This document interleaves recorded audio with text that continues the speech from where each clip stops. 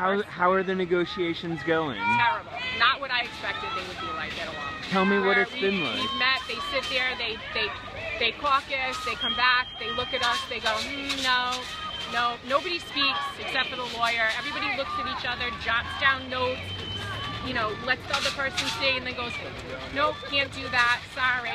So we get frustrated, and then we decided, you know, finally we decided to, to do this because we're not being heard.